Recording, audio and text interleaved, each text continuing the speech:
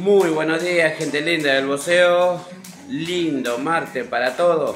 Primer turno en el gimnasio de los guerreros. Lo tenemos al joven Ramiro Jumilla y lo tenemos al joven Kevin López. Que Dios lo bendiga a todos, señores.